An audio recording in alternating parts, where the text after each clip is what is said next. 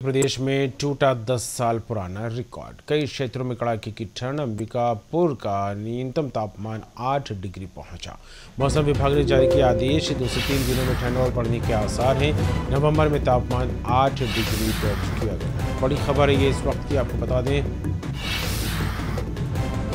रायपुर से खबर आ रही है, छत्तीसगढ़ में 10 साल का पुराना रिकॉर्ड टूटता नज़र आ रहा है। कई क्षेत्रों में कड़ाके की ठंड। देखने को मिल रही है। अंबिकापुर का न्यूनतम तापमान आठ डिग्री तक पहुँच गया है। मौसम विभाग ने जारी किए आदेश दो से तीन दिनों में ठंड और बढ़ने के आसार। नवंबर में तापमान आठ डिग्री दर्ज। बड़ी खबर ये इस वक्त की आपको बता दें। रायपुर से यह खबर आ रही है, छत्तीसगढ़ के मौसम से जुड़ी यह खबर है। दस साल का रिकॉर्ड यहाँ पर ठंड को लेकर टूटता नज़र आ रहा है। कई क्षेत्रों में कड़ाके की ठंड पड़ने लगी है। अंबिकापुर का न्यूनतम तापमान आठ डिग्री दर्ज किया गया है। मौसम विभाग का अनुमान है कि दो से तीन दिनों में ठंड और बढ़ने के आसार हैं। नवंबर में तापमान आठ डिग्री दर्ज किया गया है।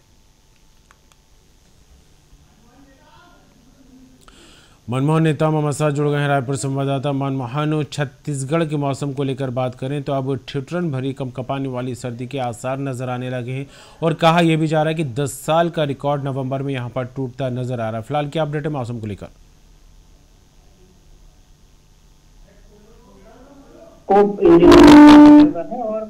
कहीं ना कहीं प्रदेश में जो 10 साल का रिकॉर्ड है, वह टूटा है।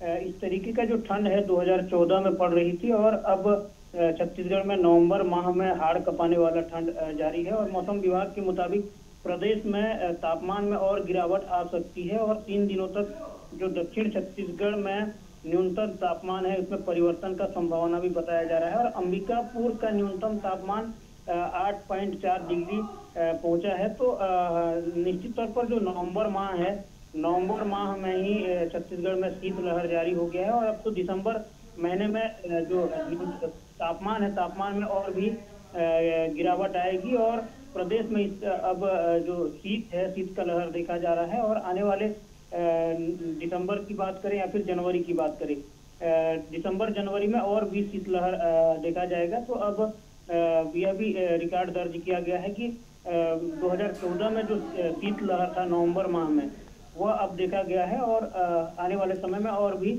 शीतलहर के असर देखा जाएगा, जी। हाँ बिल्कुल, लेकिन जिस तरह भी देखा जाए कि सर्दी का मौसम जो है शुरू मनमोहन अक्टूबर में ही हो जाता है, लेकिन नवंबर में जिस तरह से 10 साल का रिकॉर्ड यहाँ पर छत्तीसगढ़ में देखने को मिल रहा है। लेकिन जो, मौसम परिवर्तित होने की क्या कुछ मुख्य वजह निकलकर सामने आ रही क्योंकि इससे पहले कहीं ना कहीं दिन और रात के तापमान में काफ़ी अंतर देखने को मिल रहा था। दिन में गर्मी का एहसास तो रात में ठंड कहीं ना कहीं महसूस होती नज़र आ रही थी।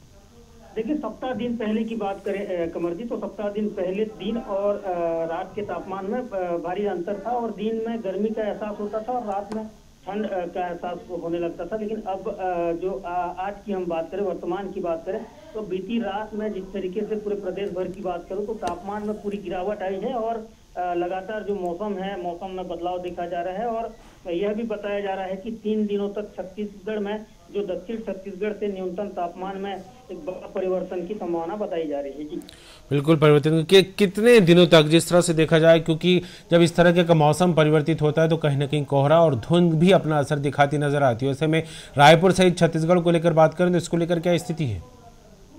देखिए कमर छत्तीसगढ़ का जो सरगुजा संभाग है सरगुजा संभाग का हम मेन मेन पार्ट की मेन पार्ट की बात करें जी। जिसे छत्तीसगढ़ का शिमला कहा जाता है। यहाँ पर सबसे कम तापमान दर्ज किया जाता है और आज की स्थिति की बात करें आज वर्तमान स्थिति की बात करें बीती रात की बात करें तो यहाँ पर बहुत ही कम तापमान दर्ज किया गया है और जो शीतलहर का असर तमाम छत्तीसगढ़ के साथ साथ सरगुजा संभाग में भी देखा जा रहा है। मतलब साफ़ है कि आने वाले महीने में जो तापमान है उसमें भारी गिरावट आ सकती है और हाड़ कपाने वाली जो ठंड है, उसका एहसास हो सकता है, जी। चलिए, बहुत बहुत शुक्रिया तमाम, मनमोहन तमाम बात के लिए। तो रायपुर से खबर, छत्तीसगढ़ के मौसम से जुड़ी 10 साल का रिकॉर्ड नवंबर में यहाँ पर ठंड को लेकर टूटता नज़र आ रहा है। कई क्षेत्र में कड़ाके की ठंड पड़ने लगी है। अंबिकापुर का न्यूनतम तापमान आठ डिग्री तक पहुँच चुका है। मौसम विभाग का अनुमान है कि दो से तीन दिनों में ठंड और बढ़ने के आसार बनते नज़र आ रहे हैं। नवंबर में तापमान आठ डिग्री दर्ज किया गया है।